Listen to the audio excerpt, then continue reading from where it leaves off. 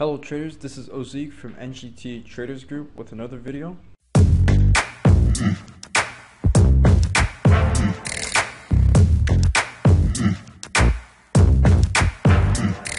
So today we're going to be talking about identifying tradable candlestick patterns.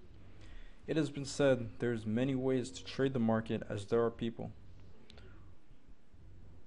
One of the ways that traders find trades is through candlestick patterns that form on the chart.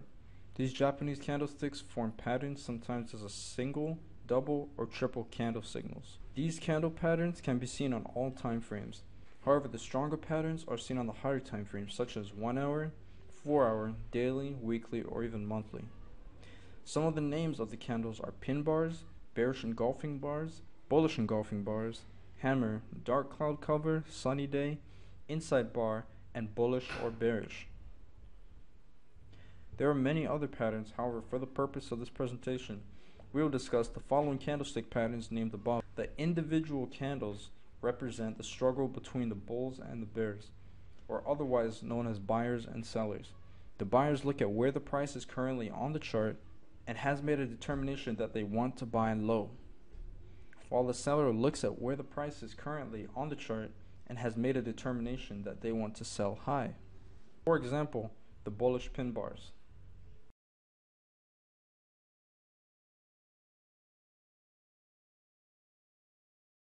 Pin bars come in many shapes and sizes, and it does not matter too much what color the pin bar is. What is identifiable about the pin bar is its long tail, and the body of the pin bar closed in the upper one third of the bar. Also, it matters where and when the bar forms on the chart. These bars represent possible strong buying and that the bulls have won the fight.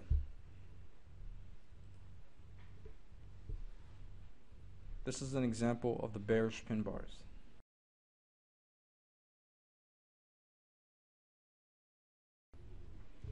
These bearish pin bars, just like the bullish pin bars, are different in shapes and sizes. What is identifiable about the pin bar is its long tail and the body of the pin bar closed in the lower one third of the bar.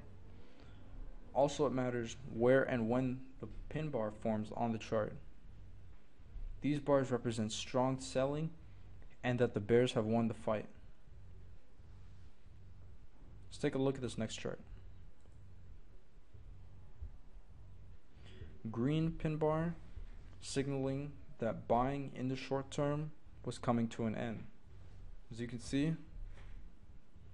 the topping tail bar, it came up pretty strong here, cut and hold, pulled back, closed lower,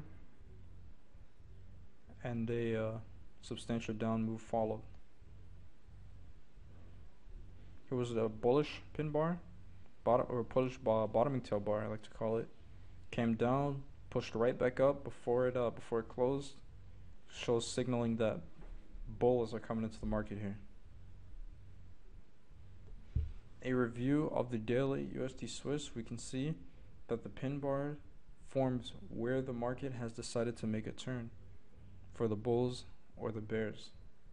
Also in any area of support or resistance. The color of the candle has little significance to the signal. Another candlestick pattern is referred to as the engulfing pattern. Just like the pin bars, there is a struggle between the bulls, buyers, and the bears, sellers. So we have the bullish engulfing pattern and the bearish engulfing pattern. The bulls look at the price on the chart and decide that they want to buy low. The bears look at the price on the chart and decide that they want to sell high. Let's look at the patterns below.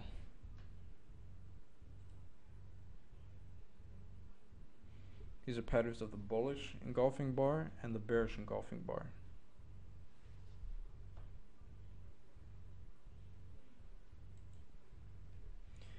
In the picture above, the bullish engulfing bar signals that the bulls have put in a large order in the market and any selling may be coming to an end in the short term.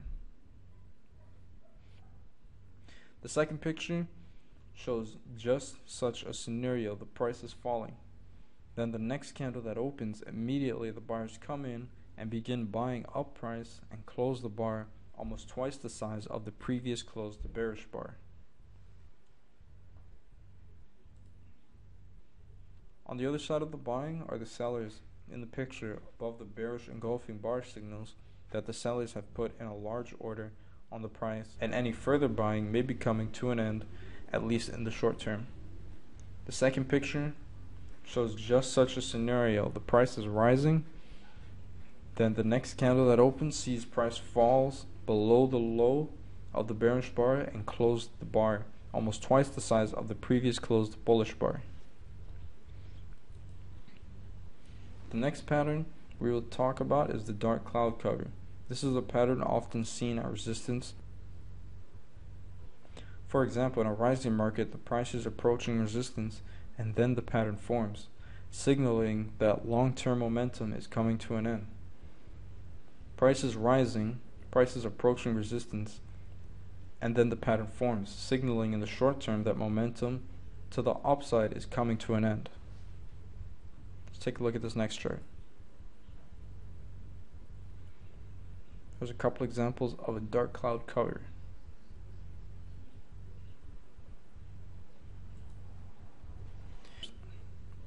Here on the chart showing the dark cloud cover patterns, price reach resistance and the two candle patterns form we can clearly see the bullish candle has been completely eclipsed by the bearish candle. Each time price pulls back into resistance, the pattern forms, then the market sells off. These patterns used by traders are used in connection with the structure of the market, for example, trend, support and resistance trend lines, etc.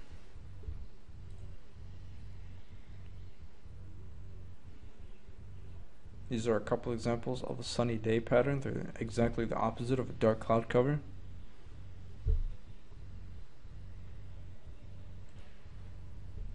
The sunny day patterns are just the opposite of the dark cloud cover patterns. The patterns show potential buying opportunities.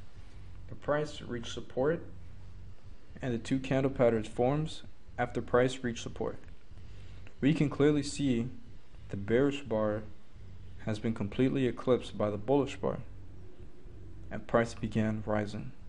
These patterns can be traded on any time frame, however traders will find that higher time frames are more reliable.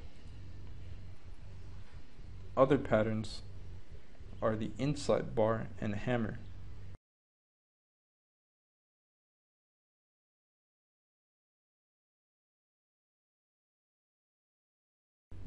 inside bar in a downtrend.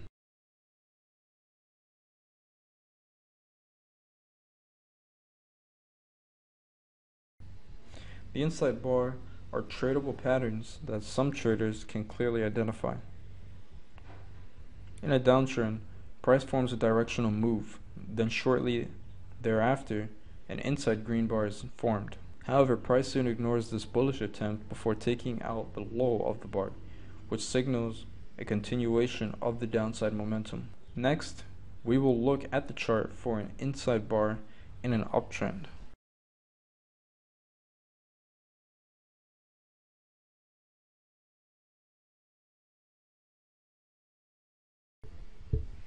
The inside bar in an uptrend is similar to the inside bar in a downtrend with some expectations. The inside bar on the chart above is formed in an uptrend. The bars are red and there are multiple bars formed within the body of the previous bars. Again, the market provides direction, and the inside bars are formed. The sellers are ignored when the next candle takes out the high of the inside bar, signaling a trend continuation. Hammers. These patterns are seen throughout the trend of short term momentum.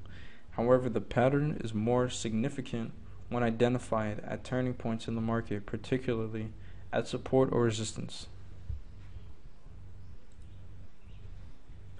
hammers at turning points in the market.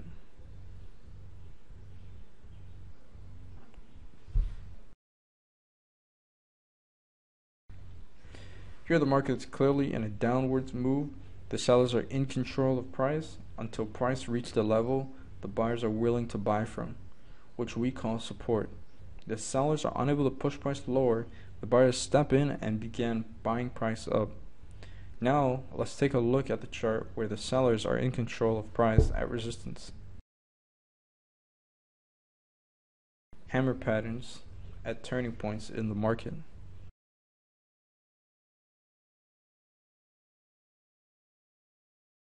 We can clearly identify these patterns, especially when we add our trend lines to the chart. First, the pattern appears when the trend line is broken and the bar closed outside the trend line. Then we have an indication where price wants to go, at least in the short term. There are many other patterns that form in the market, however, this presentation covers a few. NGT Traders Group is giving away a free system, Forex Power Punch, which can be downloaded when you subscribe to the website. It is free to subscribe to the website. Stay tuned to the YouTube channel for additional information on patterns. Okay, that's it for now. If you appreciate these videos, please click the like button and subscribe on our website and on our YouTube channel. Thanks for watching and happy trading.